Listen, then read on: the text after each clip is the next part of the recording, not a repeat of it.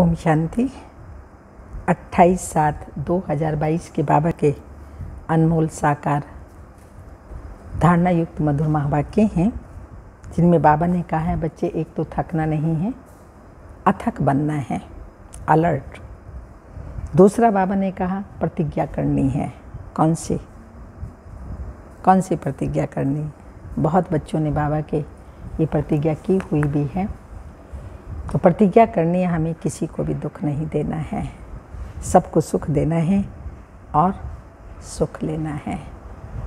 यज्ञ की पालना किन बच्चों, यज्ञ से पालना किन बच्चों की होती है? बाबा ने कहा साथ साथ बाबा ने कहा, पवित्र के हाथ का, योगियों के हाथ का ही बना भोजन। योगी बन करके खाना है। बाबा की याद में बना भोजन, बाबा की याद में ही खाना है। क्योंकि अन्न का मन पर प्रभाव पड़ता है, जैसा अन्न, वैसा मन। तो मन को शक्तिशाली बनाने के लिए योगी आत्मा को बाबा की याद में बना भोजन, बाबा की याद में ही स्वीकार करना चाहिए। सुनते हैं मधुर महावाक्य, मीठे बच्चे, तुम्हें पढ़ाई में कभी थकना नहीं है। अथक बनना है। अथक बनना अर्थात कर्मातीत अवस्था को पाना। क्वेश्चन तुम बच्चों ने अभी कौन सी प्रतिज्ञा की है और क्यों? आंसर। तुमने प्रतिज्ञा की है, किसी को भी दुख नहीं देंगे। की है ना सबने ये? चाहे मनसा से, वाचा से, कर्मणा से, किसी को भी दुख नहीं देंगे। हर आत्मा को कोई कैसी भी है, सुख देना है और सुख लेना है। सबको सुख का रास्ता बताएँगे। सेकंड पॉइंट क्वेश्चन है, किन बच्चों की पालना यज्ञ से होती है? किन की पालना यज्ञ से होती है? हाँ? आंसर, जो अपने को ट्रस्टी समझते हैं, अर्थात पूरा दिल से सब कुछ सरेंडर करते हैं। वह रहते भी ग्रस्त व्यवहार में हैं, धंधा भी करते हैं, लेकिन ट्रस्टी हैं। तो जैसे शिव बाबा के खजाने से खाते हैं, घर में रहें, परिवार में कहीं भी रहते हैं अगर दिल से सब कुछ बाबा को समर्पित किया हुआ है तो वह भी बाबा का भंडारा है और बाबा के भंडारे से ही हम पलते हैं। हमारी पालना, पालनहार शिव बाबा ही कर रहा है। गीत तुम ही हो, माता, पिता। ओम शांति। बच्चों को बाप मिला है और अब अनुभव से कहते हैं, बरोबर कांटे से फूल और कोई बना नहीं सकते। भारत, दैवी फूलों का परिस्तान था, अभी कांटों का जंगल है।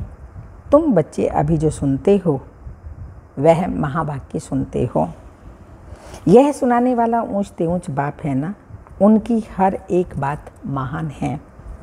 महान सुख का सागर है, महान ज्ञान का सागर है, महान शांति का सागर है। बच्चे अच्छी रीति समझ चुके हैं। आगे हर बात में कांटे थे, हर कर्म इंद्रियों से एक दूसरे को दुख देते थे। अब हम खुद ही कर्म इंद्रियों से किसी को दुख न देने की प्रतिज्ञा करते हैं। जैसे बाप दुख हरता, सुख करता है। वैसे बच्चों को भी बनना है। कोई को भी दुख नहीं देना है। हर एक को सुख धाम का ही रास्ता बताना है। ये सब ब्रह्मा कुमार कुमारियाँ किसकी मत पर चलते हैं? हाँ आप सब किसकी मत पर चलते हो? श्री मत पर ब्रह्मा की मत गाई हुई है। यूँ तो सभी को कह देते हैं, गुरु ब्रह्मा, गुरु विष्णु, परंतु गुरु को फिर भगवान नहीं कहा जाता। उन्हों को देवता कहा जाता है मात पिता भी उनको नहीं कह सकते। तो बाबा ने समझाया है, लौकिक मात पिता से तो अल्पकाल सुख का वर्षा मिलता है, वह मिलते हुए भी फिर परलौकिक मात पिता को याद करते हैं। ब्रह्मा, विष्णु, शंकर को तो नहीं याद करेंगे, उनको मात पिता नहीं कहेंगे। वे तो सूक्ष्म वतनवासी है ना? उनको ब्रह्मा देवताएँ नमा, विष्णु देवताएँ नमा कहते हैं। इतनी सब बच्चे किसको माता पिता कह ना सकें? स्वर्ग में लक्ष्मी नारायण को भी सब माता पिता नहीं कह सकते। माता पिता केवल एक निराकार परम पिता परमात्मा को ही कहते हैं, क्योंकि वे निराकार है, ना केवल माता पिता लेकिन बंधु, सखा, स्वामी। सर्व संबंधी हमारा निराकार शिव बाबा है। बाकी किसी भी देवी देवताओं को भी माता पिता व और संबंध उनसे निभाए, ऐसा नहीं है। ये पारलौकिक माता पिता के लिए गाते हैं, तुम माता पिता हम बालक तेरे, तुमरी कृपाते सुख घनेरे। बहुत करके आशीर्वाद, कृपा बहुत मांगते हैं। अभी तुम बच्चे जानते हो बेहद का बाप कैसे? आशीर्वाद अथवा कृपा करते हैं। ऐसे तो नहीं कहते आयुष्मान भाव, चिरंजीव भाव। बाप तो आकर सहज राजयोग और ज्ञान की शिक्षा देते हैं। आशीर्वाद व कृपा भक्ति मार्ग में ढेर देते हैं एक दो को। अच्छी दृष्टि रखना, दया दृष्टि रखना, सो तो परम पिता परमात्मा के सिवाय और कोई रख न सके। ऐसे नहीं कोई देखने से देवता बन जाते हैं, नहीं। यहाँ तो ये पाठशाला है। पाठशाला में पढ़ना होता है। अभी तुम जानते हो वही निराकार इस साकार तन में आए हैं। मम्मा बाबा, दादा तो यह क्या हो गया? मम्मा बाबा, दादा तो यह कुटुंब हुआ ना? ईश्वरीय परिवार। इतनी बड़ी पाठशाला थोड़ा शहर से दूर होनी चाहिए। यहाँ भी देखो शहर से कितना दूर है। जितने भी हमारे रिट्रीट सेंटर हैं, इतनी बड़ी बड़ी यूनिवर्सिटियाँ वो तो शहर से दूर हैं। बाकी ये पाठशाला आदि तो शहर में ही होती हैं और वहीं होनी पड़ेंगी, क्योंकि शहर वाले सब भी आकर के ज्ञानियों की शिक्षा लेंगे। लेकिन फिर भी बाबा कहते हैं, थोड़ा दूर होना चाहिए, शोर शराबे में नहीं होना चाहिए। शहर से कितना दूर है, कितना सन्नाटा लगा हुआ है, मधुबन को बाबा बता रहे हैं, क्योंकि हमें चाहिए शांति और हमको जाना है शांति धाम शांति धाम किसको कहा जाता है? यह तुम अभी समझते हो। आत्मा तो है ही शांत स्वरूप। मन को शांति चाहिए, ऐसे नहीं कह सकते। आत्मा में ही मन बुद्धि है ना? आत्मा शरीर से अलग अलग है। नाक, कान आदि को शांति नहीं चाहिए। शांति चाहिए आत्मा को।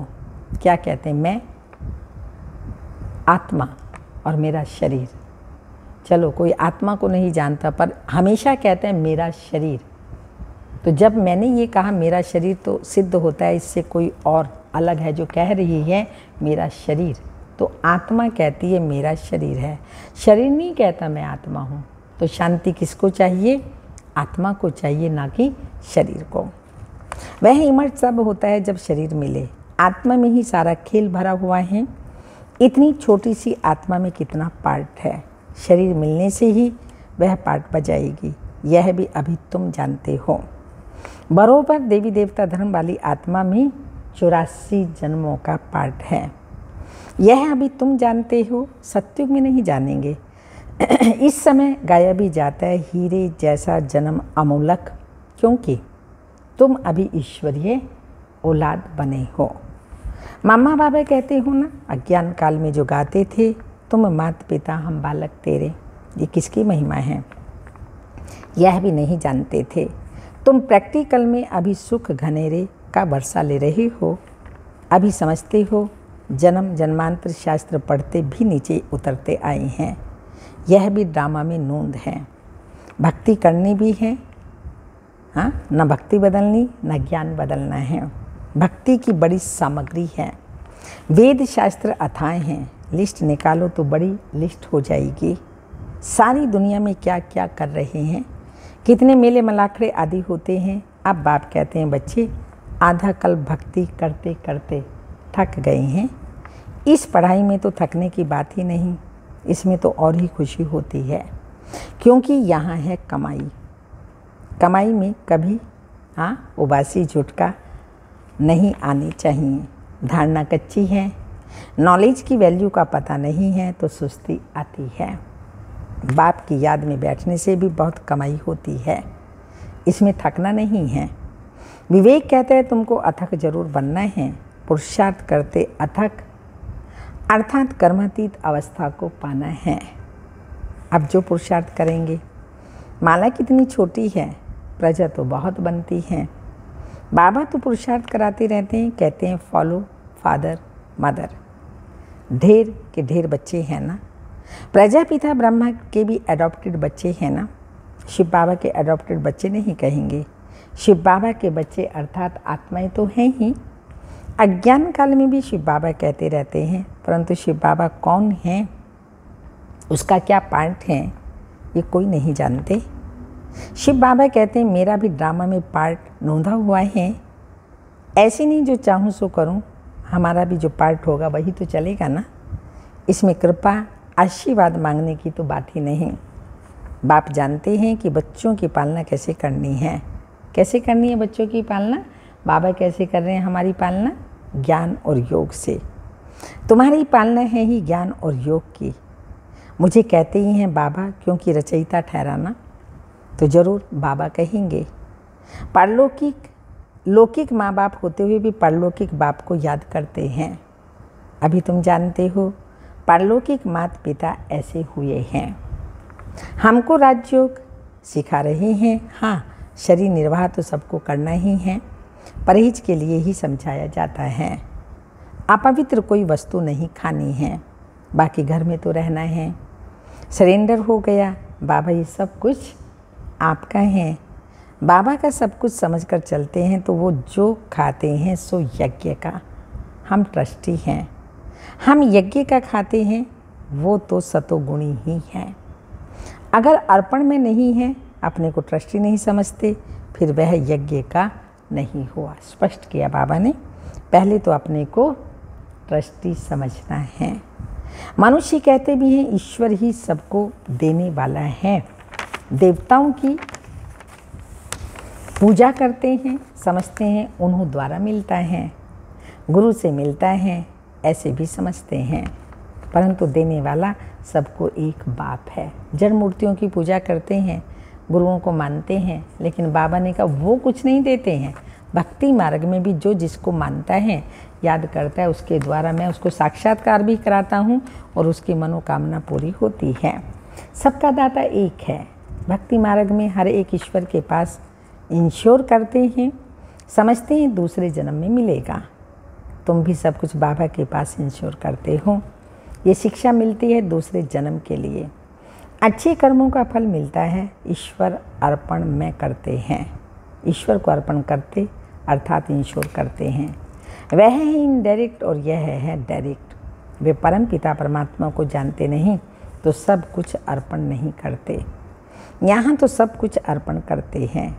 बाप कहते हैं, अपने को ट्रस्टी समझो। तुम जो खाते हो समझो हम शिव बाबा के यज्ञ का खाते हैं। संभाल भी करनी होती है। कोई तमोगुणी भोग लगा न सके। मंदिर में भी शुद्ध भोग लगता है। वह वैष्णव ही रहते हैं।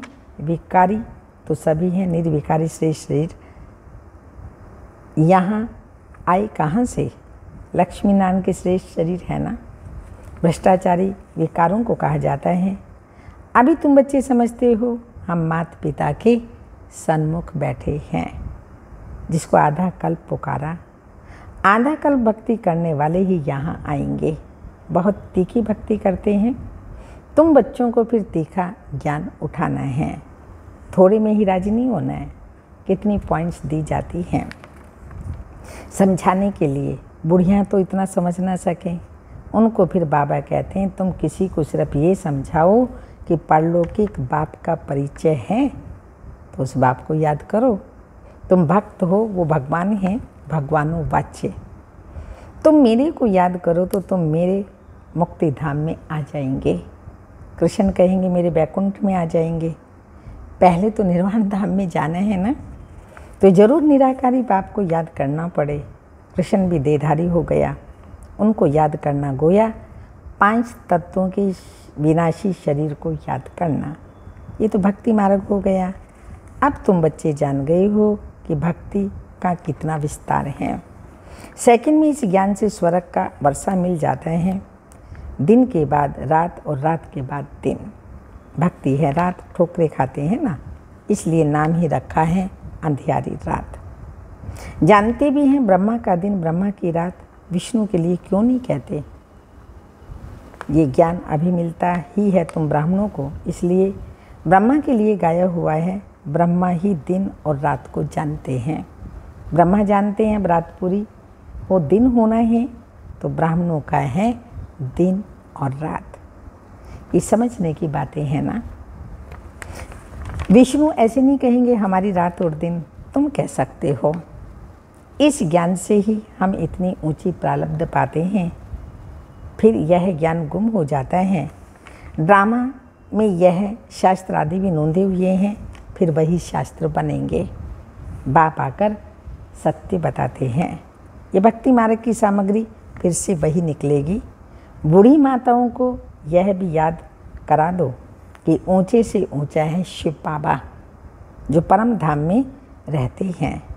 जहाँ आत्माएँ रहती हैं। वह है ऊँचा ठाव मूल वतन, फिर मूल वतन में है ब्रह्मा, विष्णु, शंकर। फिर स्थूल वतन में आओ तो पहले लक्ष्मी नारायण का राज्य।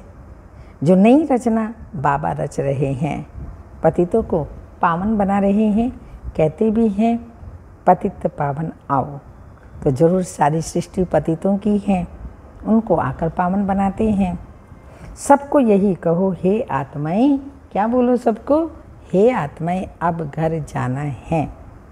तुम आत्माओं को ले जाना है। शरीर तो सबके ख़त्म हो जाएँगे। आत्मा के नाते सब भाई भाई हैं।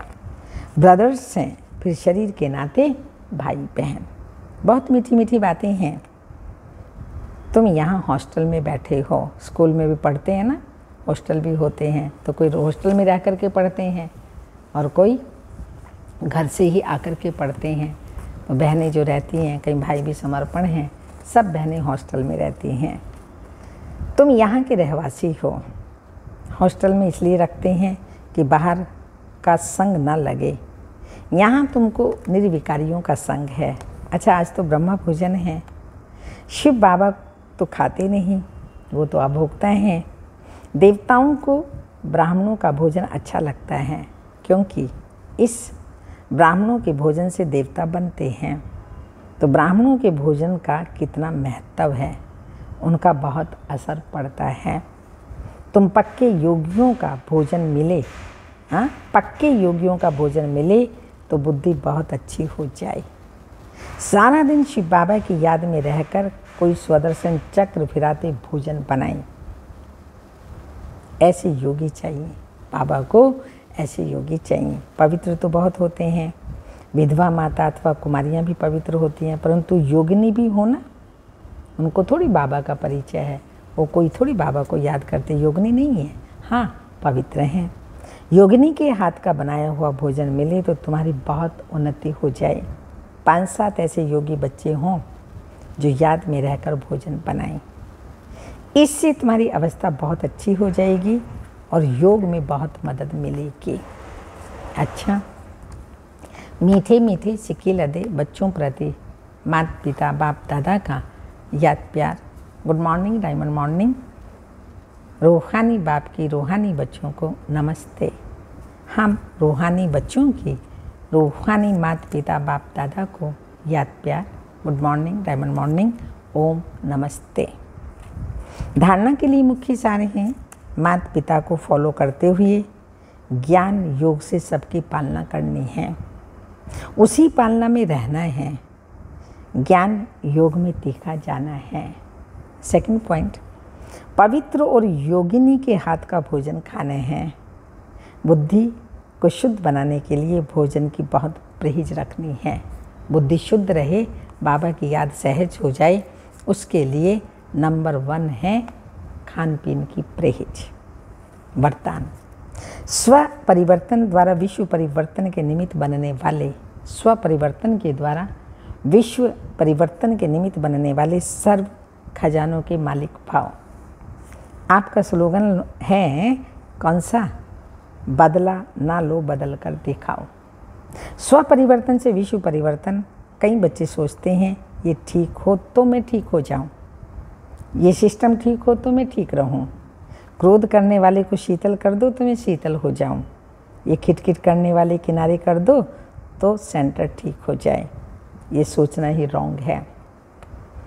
पहले स्व को बदलो तो विश्व बदल जाएगा। इसके लिए, स्व को बदलने के लिए बाबा ने कहा, इसके लिए सर्व खजानों के मालिक वन समय प्रमाण खजानों को कार्य में लगाओ। स्लोगन सर्व शक्तियों की लाइट सदा साथ रहे तो माया दूर से ही भाग जाएगी। सर्व शक्तियों की लाइट सदा साथ रहे तो माया दूर से भाग जाएगी। अमृत वेले की पॉइंट है। विस्तार बहुत है ना? एक एक नाम को स्मृति में लाओ और स्वरूप बन अनुभव करो।